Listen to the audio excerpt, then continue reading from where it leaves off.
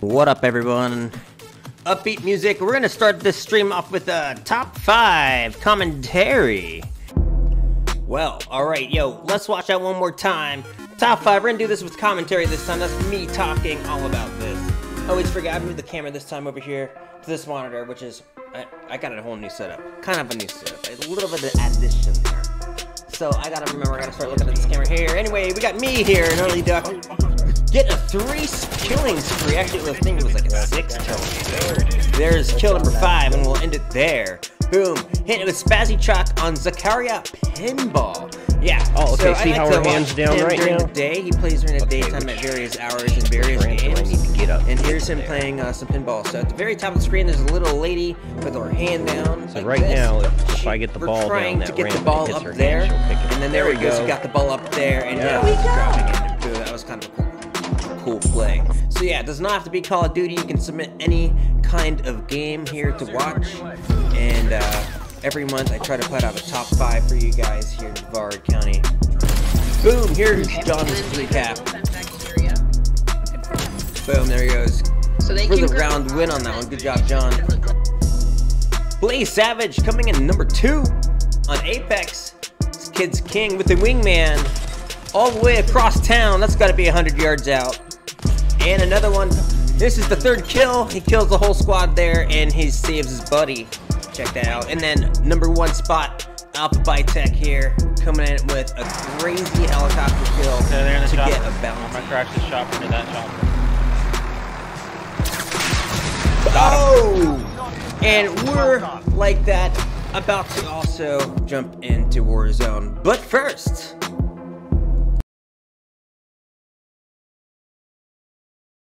but first, let's talk about who we are, what we are, and all that good stuff.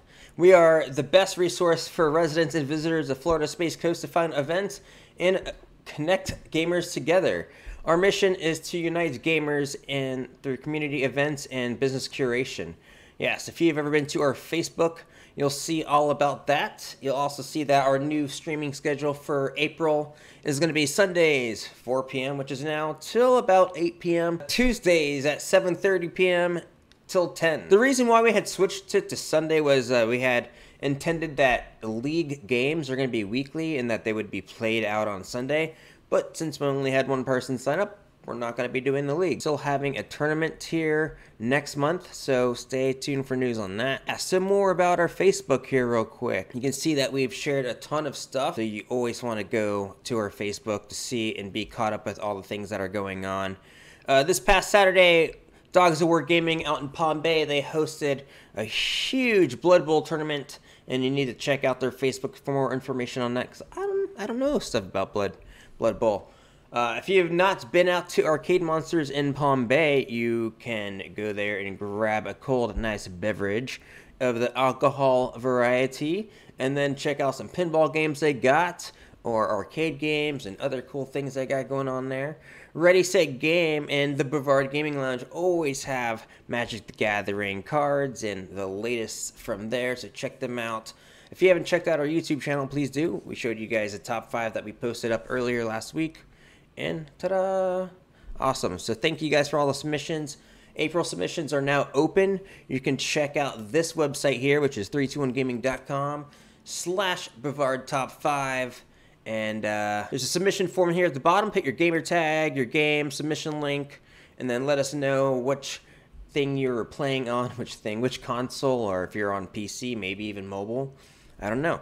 Again, we don't discriminate the game. It can be a board game. It could be, you know, a cool thing. Try to keep it under the 30 second mark and uh, see yourself a top five spot. What else we got going on? Oh yeah, if you have not been to our website, please head over to the calendar section.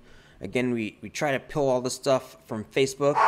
If there's other stuff aside from Facebook, next weekend, is that next weekend, I think? This coming up weekend, Saturday, we got GamerCon out at Rubix Cafe. Uh, they're doing cosplay, video games, card games. They're they're kind of doing it all. So check it out. I wouldn't pass it by that they're gonna also have live music. So check out that coming up on the 17th. What else we got going on? What else we got going on? I don't think there is a whole much more. Oh yeah, Rick Shea. He did an amazing interview check that out.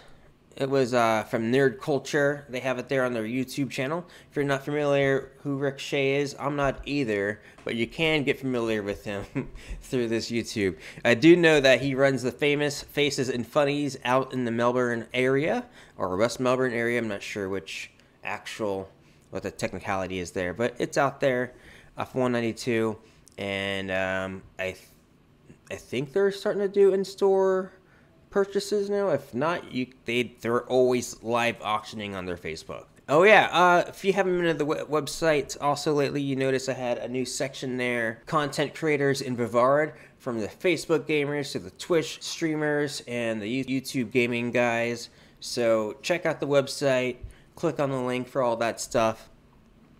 Uh, till then, uh, I think it's time to just jump right into some Warzone.